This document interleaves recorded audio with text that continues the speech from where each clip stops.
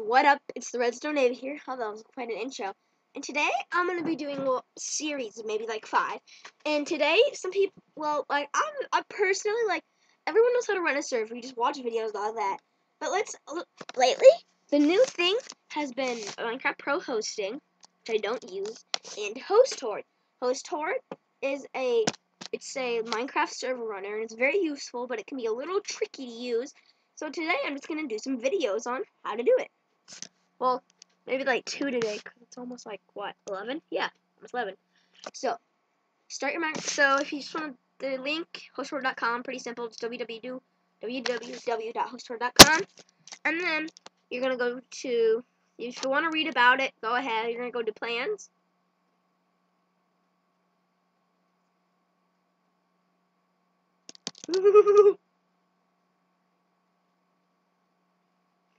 obviously you have plans, and I recommend you're starting off your server. You want a good server. You want to get maybe some simple donations, and you maybe want like 40 people on at a time. You have creative plots. You have survival, and you have factions. Perfect. Now I would recommend going with the basic plan to start off with. The starter is okay, but if you're actually looking to get your server out there and get some donators, I would recommend doing basic. So obviously you would buy the plan. It's pretty simple. It just transfers it to your Wi-Fi. Simple as that. So you, I'm gonna, let's say I buy it. Well, I'm not, I'm not gonna buy it. I just left click on that. But I actually have a plan. So let me go to www.mc.hosthorde.com. And once you've bought it, it's gonna it's gonna say all this, and I'm not it's gonna say all this junk. But once you bought it, it's going to transfer it to your IP, so then your server is literally up. So then, you're going to have to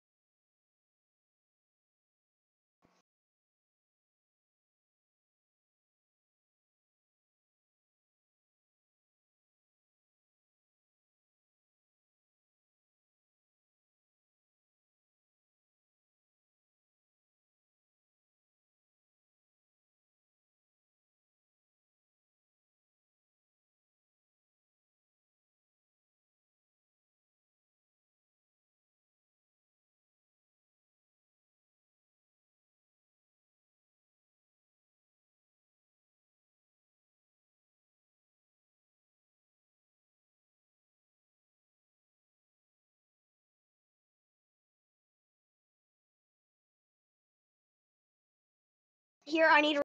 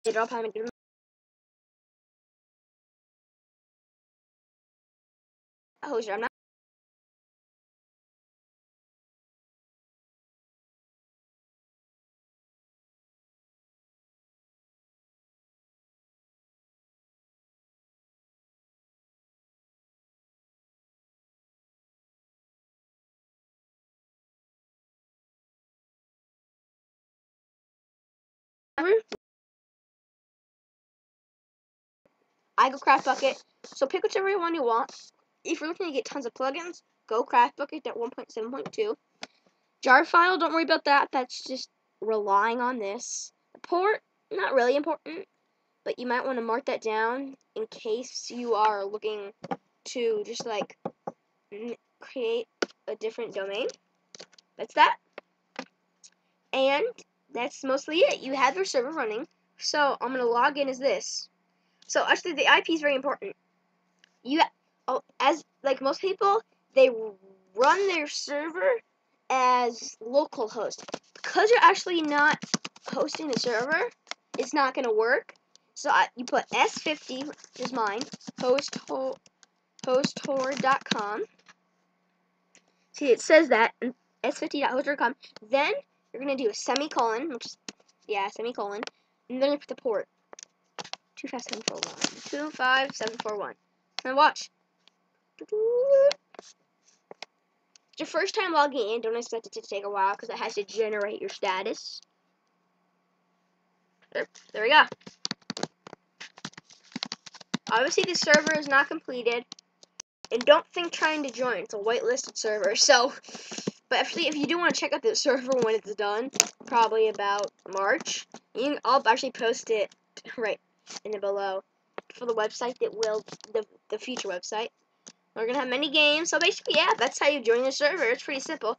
I'm gonna do another video on how to get plugins, how to get more gigabytes, and how to install mods on your server, and how to sim no, how to do a tiny bit like certain info on your server, and um, what's the last thing? Hold on, I'm so bad thinking